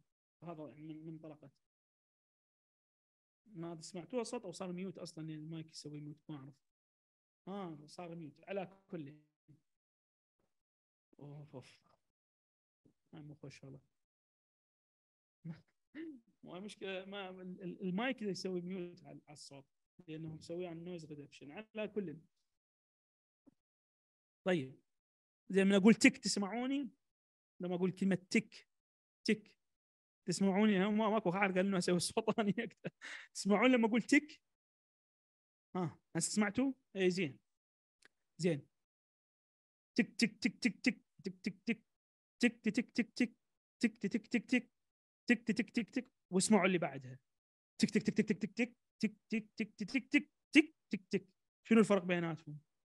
ياهو الاكثر انتظاما رغم ان اثنيناتهم غير منتظمين الاولى لو الثانية ها ياهو الاكثر انتظاما شوفوا الكلام مو اثنيناتهم مو منتظمين عافيه عليكم عافيه الاولى الثانية اللي سويت لكم اياها ما بها اي انتظام يعني ال R wave ويا ال R wave ويا ال R wave اللي بعده دائما أكو عشوائية بالموضوع. ما عندك انتظام باللا انتظام. ليش دكتور تقول لي حتى اللا انتظام؟ إي طبعا. أنت هسه لنفرض أنت طالب طب. شوية مرات أنت يعني مو كلش جاد بحياتك. عندك يوم تقرأ يومين ما تقرأ يوم اللي بعده نص تقرأ وهكذا. يوميا يوم الأول تقرأ يومين ما تقرأ بعدين تقرأ. هذا أفضل. أنت بالحالتين يعني أنت الحاله غلط أنت ما تقرأ. بس هذا أفضل لو أنت يوم تقرأ عشرة ما تقرأ بعدين يوم تقرأ بعدين ثلاثة ما تقرأ بعدين يوم ما تقرأ بعدين أربعة ما تقرأ. فطبعا بالحالتين أنت هنا عندك مصيبة. بس المصيبة بالحالة الأولى أهون من المصيبة بالحالة الثانية. فهذا الريجولار الريجولار إنه يكون عشوائية بال heart beat وطبعا هذا دائما لما يوصل هذا معناته مشاكل أكبر راح المريض يكون hemodynamically unstable لأن القلب ما يضخ الدم بشكل طبيعي وبالتالي مصايبة أكبر إحنا من هاي الحالة. وممكن يعني توصل إنه يتأثر ال ventricle خاصة إذا كان بال ventricle هذه كارثه هذه. فهذه الفكرة من الموضوع. طبعا تفهمون بعدين من راح تقرا شنو AF شنو VF يعني تمام. regular irregular اللي هي عندك خلل لكن هذا الخلل ده ينعاد بنمط متكرر بنسبة من الانتظام وإن كانت قليلة تحافظ لك على المريض يكون شوية أكثر hemodynamically stable فهي بالحالتين خلل لكن خلل أهون من خلل. والأفضل طبعا من عندهم إنه يكون regular هذا ال lub dub أو تمام؟ اللي هو ال heart beat طبيعي. فواضحة الفكرة اللي هي ال R wave وال R wave اللي هو مثلتها ترى بهذا الصوت تكون منتظمة. فهسه نجي كمثال هنا شوفوا هذا regular طبعا هذا P wave QRS T wave هذا regular تمام؟ آه طبعا هنا هو flutter هذا صاير واضح؟ فهذا ال flutter لما زاد هنا طبعا ال P wave تحولت إلى sawtooth waves أنا ما اشرح هسه شنو flutter بس الكلام يعني. هنا أنا أشوف ال R wave ويا ال R wave أكو نمط دا يتكرر بس طبعا هذا عدم انتظام. مو مثل الحالة الأولى اللي هي منتظمة. لا هنا عندك عدم انتظام. بس هذا عدم الانتظام انتبهوا تلاحظون شلون يتكرر؟ عدم انتظام منتظم. هذا اسمه regular irregular اللي بعده إذا تلاحظون ماكو أي ربط بالموضوع دائما المسافات مختلفة. اذا هذا شو راح يكون؟ irregular irregular سؤالي لكم منهم من هذول سهل إنه يتحول إلى atrial fibrillation واحد اثنين لو ثلاثة. منو أقرب إنه ممكن يتحول إلى رجفان بالأذينات؟ عافية عليكم رقم ثلاثة. هذا أخطر. معناته مصايبة أكثر راح تصير. فإذا تلاحظون الفكرة وين واصلة؟ فهذا. فهسه عرفنا نحسب ال rate وبعدين جينا على ال regularity طيب الخطوة الثالثة هي إنه assess the P wave. شلون نسوي assessment لل P wave وما تعبتوا؟ الكل بعدهم وياي لو تعبتوا. ها نعطيكم شوي تاخذون نفس تريدون استراحة لو نكمل. تريدون استراحة نعطيكم خمس دقائق استراحة تجيبون شاي ونكمل. وإذا ما تريدون حتى كمل راسا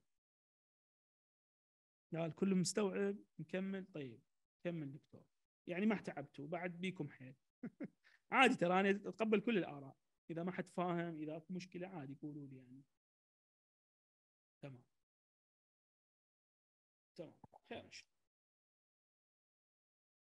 زين. هسه نجي على ال step الثالثة اللي هي assess the P wave شلون نشوف ال P wave مره إحنا نجي على ال P wave هل هي موجودة أم لا؟ هل عندك absent لل P wave طبعا مو معناته موجات موجودة اللي هي مثل هذه معناتها هاي P wave هذه مو P wave هذه flutter wave هنا مثال. هاي ال P wave واضح شكلها. فهل نجي أول نقطة؟ هل هي موجودة أم لا؟ النقطة الأولى نجي نجي نقول هل ال P wave لما نجي نشوف ورا ما تشيكنا ال regularity ورا ما تشيكنا ال rate وال regularity نجي نشوف هل عندنا ال P wave موجودة أصلا أم غير موجودة؟ زين ورا ما لقينا ال P wave هل كل ال P wave ات متشابهة بالشكل؟ ليش؟ لأن عندنا شغلة اسمها atrial ectopic beats ضربات هاجرة من atrium عندنا multifocal atrial tachycardia كمثال يطلع بها مختلفات ال P wave فهذه مهمة تفيدنا في حالات ال arrhythmia ومشاكل إذا عندنا بال atrium فنجي هل كل ال P wave ات متشابهة لو بيها مرات biphasic أسف مثلا كمثال صايره بهذا الشكل ال P wave تلقاها مرات biphasic بهذا الشكل M wave مرات inverted فتجي تشوفها هل هي شكلها ثابت على طول ال ECG هل أكو خلل بشكلها؟ زين هل ال P wave ات regular تفيدك بعدين في حالة آه إذا عندك block بالقلب. تمام. هل ورا كل P QRS هو المفروض يتبعها. فهاي النقاط نشوفها لازم. هل ال P wave موجودة أم لا؟ هاي أول سؤال نسأله. هل هذه P wave ات متشابهة؟ هل ال P wave ات هذا regular هل أكو QRS بعد ال P wave يعني المفروض يتبعها دائما. فإذا ماكو إذا اكو خلل. فهذا ال assessment لل P wave طبعا هسه هذا normal ال ECG الموجود. آه، عندك وإذا تشوفون هنا ال P wave شلون صاير شكله. زين النقطة الرابعة. Determine the PR interval. ال PR interval اللي قلنا هذا اللي يمثل لنا شنو بالضبط؟ قبل شوية قلت لكم ال PR interval يفيدنا بشنو؟ هسه ال P wave افتهمناها ال SA node وال atrium زين ال PR interval شنو كان يمثل لنا؟ AV node delay و conduction اثنيناتهم لأن هو وصل وبعدين المفروض QRS وراه يعني قصدي آسف أخر وبعدين وصل. فهذا يفيدنا حتى نعرف صحه ال AV node أو إذا عندنا pathway إضافي أو لا من عنده راح نعرف. فلازم نجي نقيسه إيش قد الطبيعي؟ 0.12 إلى 0.20 second أو دكتور أنا ما أحب ال second. أحكي لي بالمربعات. أنت جيت لمنطقتي أنا أحب المربعات. صراحة ما أحب ال second ات أنا ليش أكتبها؟ أكو طلاب obsessive اللي يريد يعرفها بال second. إذا ما عرفها بال millisecond أو بال second يتخبل ما ينام الليل. فانت عرفها بالمربعات إيش قد الطبيعي؟ دكتور لا خل أختصرها واحفظ بس ال upper limit إيش قد خمس مربعات كبيرة؟ إذا لا يا حياتي ما ترهم. هنا لازم تحفظ ال lower limit وال upper limit إيش قد بالمربعات؟ مو بال millisecond حتى لا اخبصكم ثلاثة إلى خمس مربعات صغيرة. مو مربعات كبيرة. اللي أنت عبالك هذا مو interval تمام؟ فمربعات صغيرة. فثلاثة إلى خمسة مربعات صغيرة هذا ال normal. فنجي مثلا هنا راح نشوف عندنا كم مربع؟ يعني واحد اثنين بين اثنين ثلاثة. ثلاثة. أقل من ثلاثة إذا عندك short QR interval أكثر من يعني إذا أقل من ثلاثة طبعا. عندك short QR interval يا QR interval PR interval شو خبطت interval وإذا عندك أكثر من خمسة إذا عندك prolonged PR interval إذا عندك prolonged PR interval تمام؟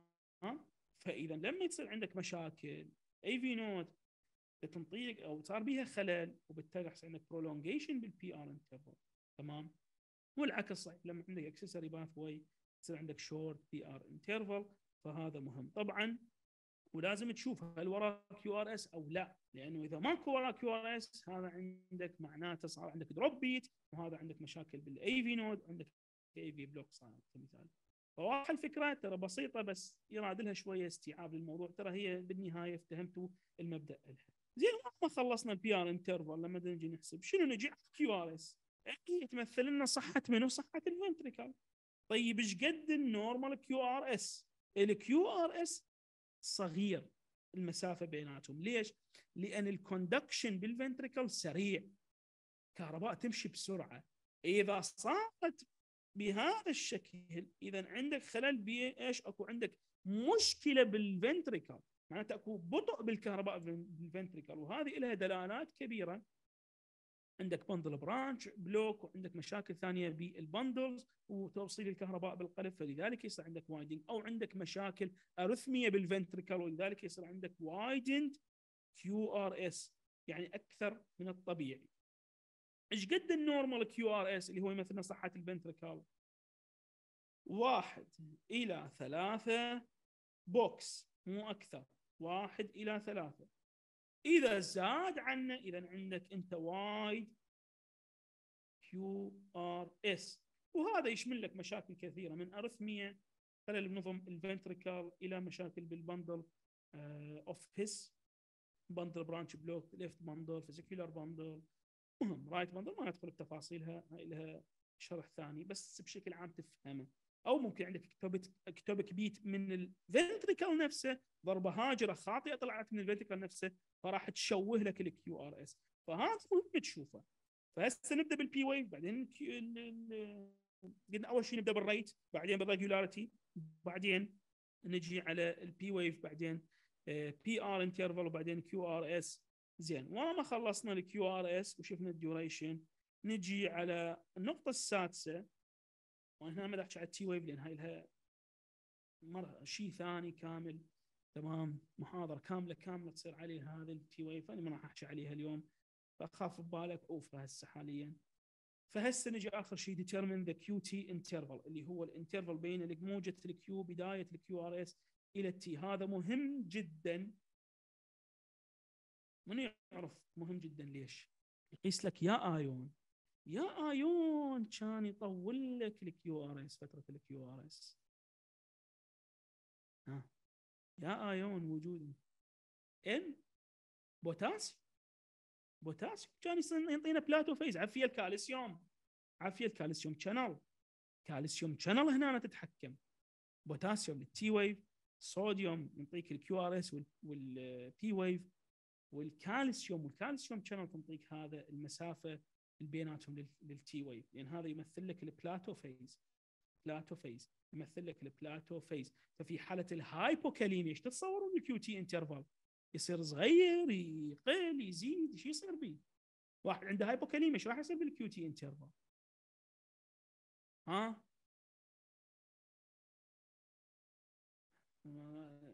قل. ماكو. يدخل أبطأ البوتاسيوم. تزيد وليس تقل تزيد. تزيد.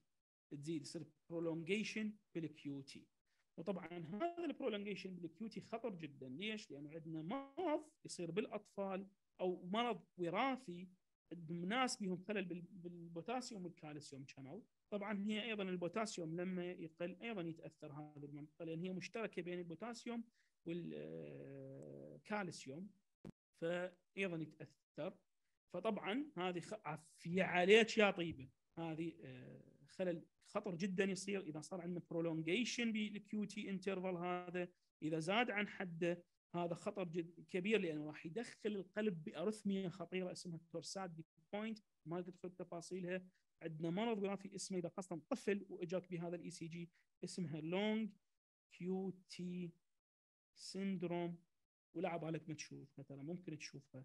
بس شلون تلقفها لما تكون قايس أنت ال QT وهذا هنا الطفل لازم تتدخل مباشرة لأنه إذا ممكن بدون علاج وأنتي arrhythmic راح يتحول إلى torsades de pointes و torsades de pointes تنتهي ب VF ويموت المريض يصير asystole فشوفوا يعني الموضوع وين واصل. لذلك قلت لكم زين إيش قد هو؟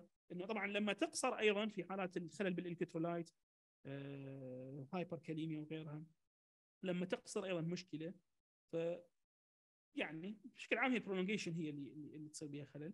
إيش قد هي الطبيعي؟ 8 ونص مربع إلى 10 ونص مربع. فمثال هذا تجون تحسبون كم مربع؟ 1 2 3 4 5 6 7 8 9 10 10 أيضا طبيعي. أكثر من 11 تقدر تعتبره غير طبيعي. واقل من 8 أيضا غير طبيعي. ف prolongation بال QT interval من يقدر يقول لي دوا يسوي prolongation بال QT إذا نخذ ب dose عالية مو dose طبيعية. إذا نخذ ب dose عالية من يعرف؟ هذا اللي يعرف فيكم اعتبره صراحة بال pharmacology شاطر. من يعرف فيكم أريد دواء يسوي لك اسمه QT prolongation من يعرف بيكم يا بنعطيكم اياها ابسط من مجموعة ال antibiotic والسلفه دواء مشهور استخدموه في كورونا. سهلت لكم إياه. مشهور استخدموه في كورونا antibiotic استخدموه. حتى أم محمد اللي تبيع طماطه يم البيت عندكم قامت تنطي. تمام؟ عافية الكلوروكوين وبعد الطماطه الثانية في كورونا صارت. كلوروكوين ويا واحد اخوه كانوا يعطون سوا. آه. يلا azithro عافية عليكم. azithromycin وال chloroquine.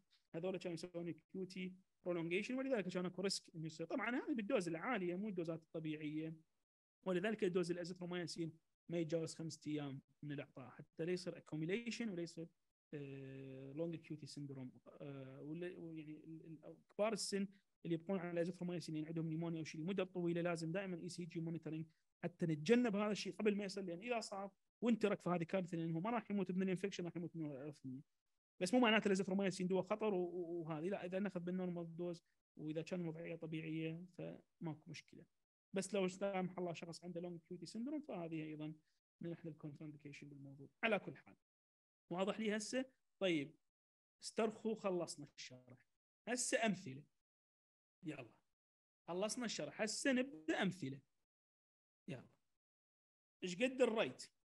يلا أعطيتكم مثال قدامكم. يلا ابدوا به إيش قد ال rate؟ يلا جاوبوا. تمام. قربتي صحيح. ها البقية. شلون؟ يلا حسبوها. نظام نتلي. طبعا هو regular لو irregular هذا شو تقولون؟ المسافة هذه ثابتة بينهم لو لو مختلفة كل مرة شكل.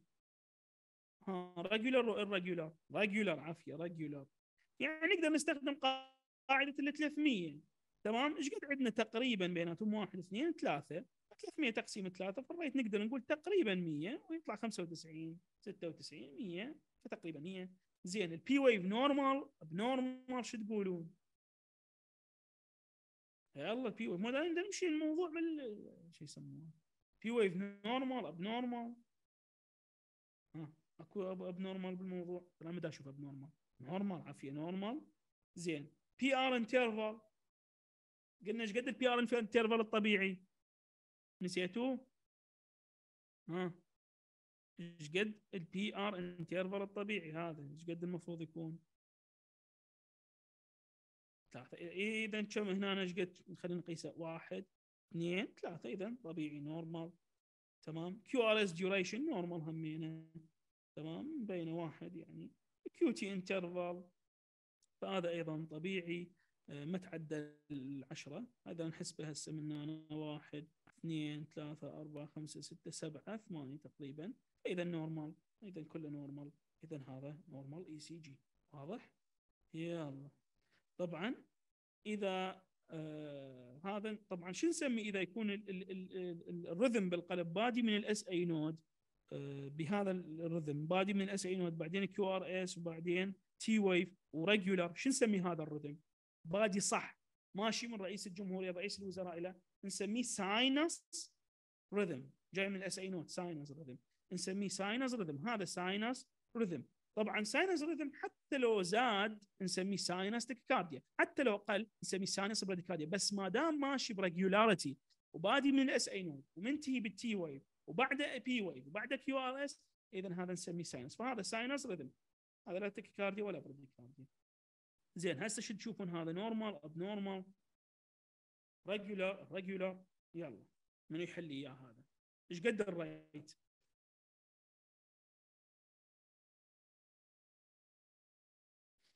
يلا إيش قد الريت زين أول نقطة هو regular حلو ما يخالف.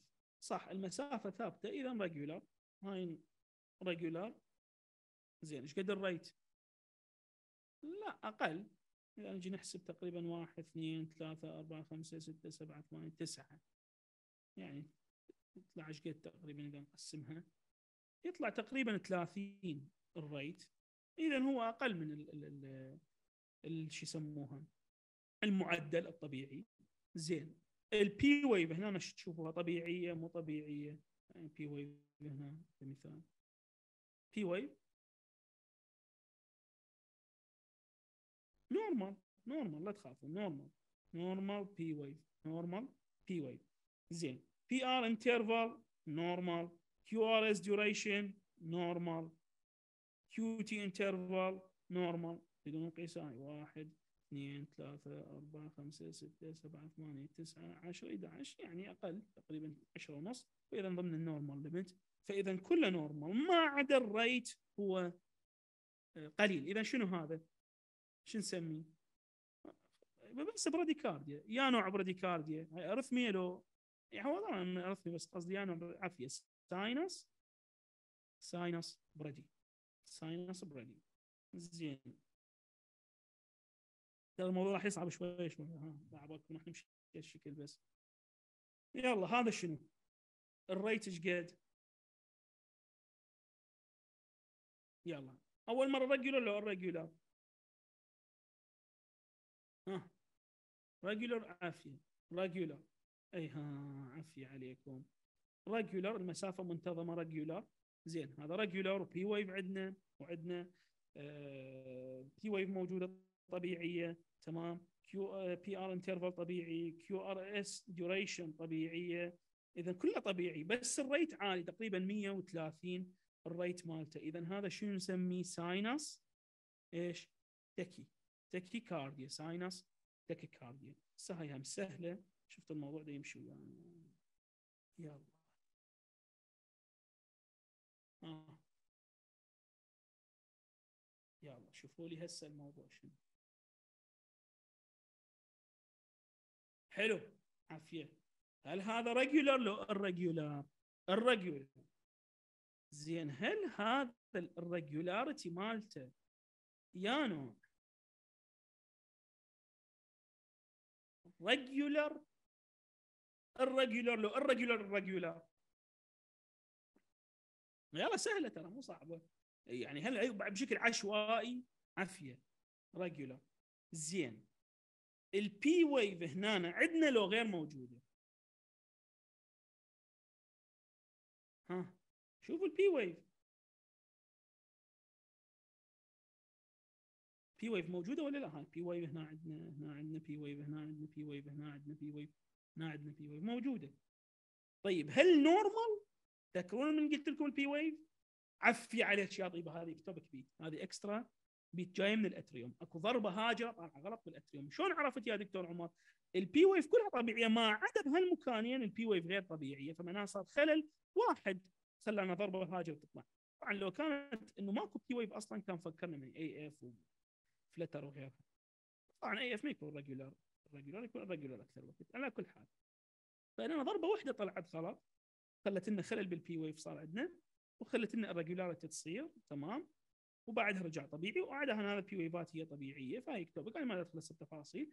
المهم فهسه عرفنا ان ال P wave صار بها خلل في مكان واحد وهذا بها irregular لكن regular irregular آه ال rate مالته تقريبا 70 ف آه هذا أيضا سهل وهذه البقية كلها طبيعية.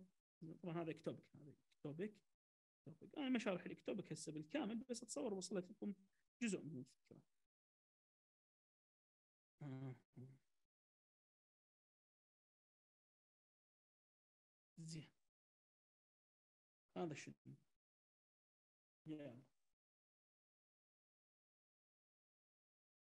طبعا للأسف ال ECG مو كلش واضح حتى يكون منصف. بس أتصور تقدرون تفهمون عنه أها حلو. irregular irregular عفي عليكم هسه. هاي شوفوا المسافات عشوائية. اذا هذا خطر. irregular irregular وين ال P wave هل عندنا P wave تشوفون P wave أنا ما أشوف P wave تشوفون P wave absent عافيه عليكم absent زين. إيش قد ال rate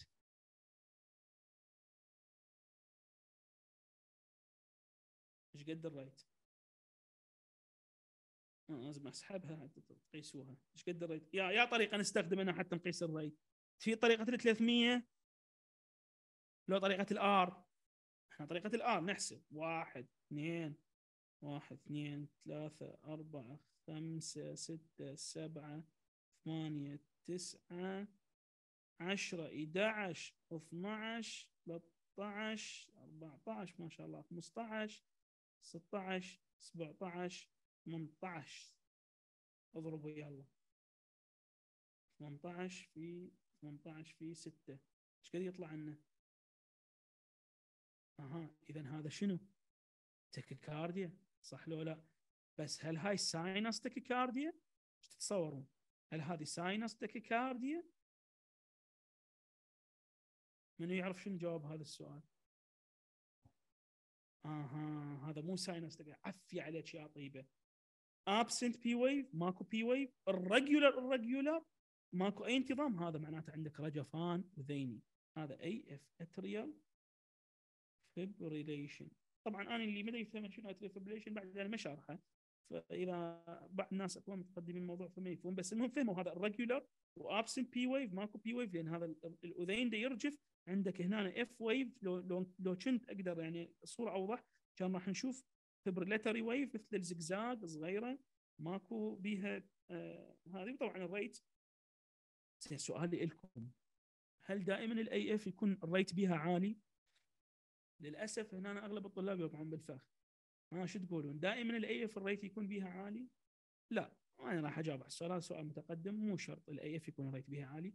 عندنا مرات slow AF وعندنا fast AF فيعني قصة طويلة ما أقدر أدخلكم تفاصيلها هسه حتى لا تدوخون. كافي عليكم هسه هالقد المعلومات. بس المهم بشكل عام على العموم يصير ال rate عالي. فهاي مو sinus tachycardia هذه مو sinus tachycardia و irregular من راحت ال regularity خلاص انتهت الموضوع مو sinus tachycardia وهذه البقية طبيعيات ما عدا هذه atrial fibrillation زين. السؤال اللي بعده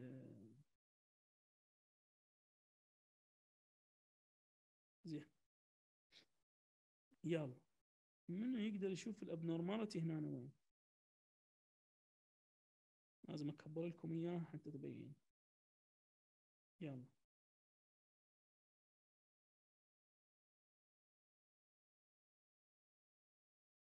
ها. irregular؟ وين ال irregular بالموضوع؟ هذا السؤال. زي مو اذا قلت لكم هذا طفل child على هذا السؤال بس أنتم ما تمشون الخطوات صحيحة. امشوا بالخطوات نفسها. ال rate. شوفوا لي ال rate مالته قد هذا ال rate؟ قيسوا لي ال rate؟ واحد اثنين ثلاثة أربعة. وطبعا هو regular إذا قاعدة 300 ترهم عليه. ف 300 تقسيم أربعة. ها؟ يلا امشوا وياي بالقاعدة. 300 تقسيم أربعة. إيش قد؟ ال rate أنا طبيعي. تقريبا 75 زين ال regularity. regular. وين ال irregular بالموضوع regular. زين. بي ويف موجودة. بي ار انت ها يلا منو راح راح راح راح أجاوبه. بيك تي ويف بالعكس تقريبا إذا تشوف بالعكس المهم بي ار انترفال تعال خلينا نشوف البي ار انترفال 1 2 3 طبيعي هذا هم ينطي كيو آر إس ديوريشن 1 2 تقريبا 1 2 يطلع طبيعي QT interval شو تشوفون؟ طبيعي ال QT interval 1 2 3 4 5 6 7 8 9 10 11 12 13 ها هذا طبيعي عفي عليك يا طيبة. هذه long QT syndrome. آه شفتوا شلون غشكم ال ECG أنتم أول ما شفتوا قلتوا شنو طبيعي ال ECG ليش قلت لكم هاي الخطوات مهمة تمشون بيها؟ حتى تميزون مثل هذا الاي سي جي طبعا هذا الاي سي جي لو واحد شافه ما دا يعرف إنه هذا long QT syndrome وترك المريض بدون أي علاج أو بدون أي استشارة ل cardiologist هذا الطبيب ممكن تن... أو هذا المريض ممكن إذا كان طفل أو ممكن كان كان كبير ماخذ أدوية معينة وصار عنده هو أصلا عنده إياها genetic آه، يدخل ب arrhythmia وممكن يموت sudden cardiac death يصير عنده. فشوفوا الموضوع. هاي long QT syndrome تصور وصلنا لل slide الأخير. يلا. أني هذا ما راح أحكي. من يعرف هذا؟ يا مرض. أو من يعرف شنو شنو حتى إذا ما اعرف المرض يشرح لي شنو الخلل عندنا هنا وين الخلل؟ ها بقية. وين الخلل؟ يلا من يقول لي وين الخلل؟ عفية عليك عفية عليكم. PR لا لا مو هو اتهم بها خلل. لا خلينا نكون منصف اتهم بها خلل. صحيح من ضمن ال criteria هذا المرض أيضا بها خلل. بس إذا نجي بالتسلسل وين المشكلة؟ هسه في عندنا. وراسا ال Q وين؟ عفية عليك صحيح يا طيب فعندك هنا ال Q ال PR interval short قلت لكم هذا يصير لما يصير عندك accessory pathway عندك لما كهرباء تجي مباشرة من ال SA إلى ال ventricle دون المرور بال AV node هذا مرض نسميه Wolff Parkinson White syndrome وهذا أيضا يؤدي لك إلى الأرثمية. واللي يظن من عندكم إنه هذا ما نشوفه بالمستشفيات أنا نفسي شفته بالمستشفى. جتينا مريضة عندها Wolff Parkinson White ومهم جدا تميز هذا المرض لأن ال anti arrhythmic اللي راح تنطيها إياه لو أنطيتها غلط لما تدخل arrhythmia صدقني راح ممكن يصير اسوء ال arrhythmia له ممكن تؤدي إلى وفاة المريض. فعرفوا هذا الشيء. طبعا يطلع وياها هذه نسميها delta wave اللي بسببها يكون short ال QPR interval فما اريد ادخل بتفاصيل فهذه Wolff Parkinson White syndrome صحيح عفي عليك عفي عليك يا طيبة. ما ندخل تفاصيلها. فأحد عنده سؤال استفسار فهمتوا كل شيء؟ فإذا حتى فاهمين كل شيء يكون هذا بالنسبة لمحاضرة اليوم. حتى نلتقي بمحاضرات ثانية. هل تحبون مثل هذه المحاضرات؟ اكتبوا لي آرائكم. هل الجميع استفاد؟ فهمتوا كان اكو شغلات غير مفهومة. البقية. إذا أي أحد عنده استفسار حتى إذا ماكو حتى أنهي المحاضرة.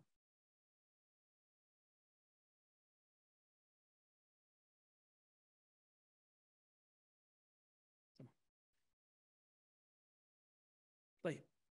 تابعوا قناة التليجرام آه، راح تنزل بها محاضرات مثل هذه. طبعا أنا أيضا عندي كورسات طبية صار لي تاركها لمدة سنة بسبب يعني ظروف الدوام شوية كان الوضع ما يسمح. ممكن أرجع لها. فايضا تابعوا كل شيء أنشره هناك. محاضرات مجانية أيضا راح تصير عندي موجودة على هذا الجروب. أتمنى لكم يوم طيب وشكرا. وآسف إذا تعبتكم وطلت عليكم. ألقاكم إن شاء الله بمحاضرة ثانية. تحياتي لكم جميعا. مع السلامة وتصبحون على خير. في أمان الله.